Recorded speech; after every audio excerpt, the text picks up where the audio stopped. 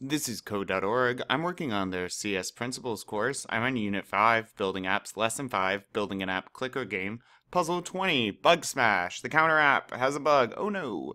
See the bug? Click up arrow or down arrow trying to get the game over screen. Ah. Oh, it should be impossible. I bet we're subtracting or adding too much. We are.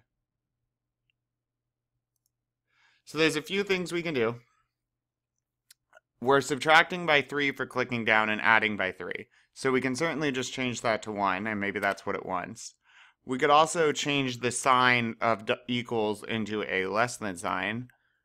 Oh, it doesn't give us, so we'll just say it wants us to do this. All right, there's probably another bug.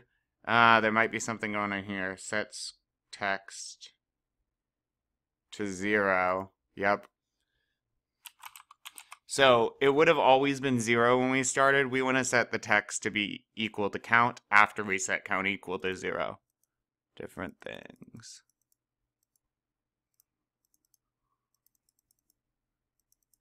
And that is looking like victory. Awesome. Let's keep going.